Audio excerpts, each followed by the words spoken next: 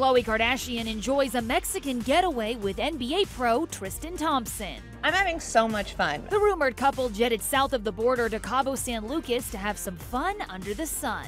Here's Khloe on Monday looking bootylicious in a cutout red one piece. The 25 year old Cleveland Cavalier star joined the 32 year old reality star out at sea, where they rode jet skis together, and Tristan was snapped smiling ear to ear.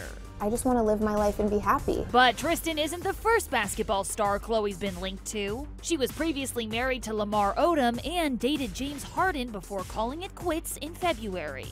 Earlier this year, Chloe opened up to ET about her love life. I'm someone who I do like to put my relationships as a priority, and I tried to make, I really try to make that work. Right. Um, and as long as people are making the effort to do so, I think anything could work.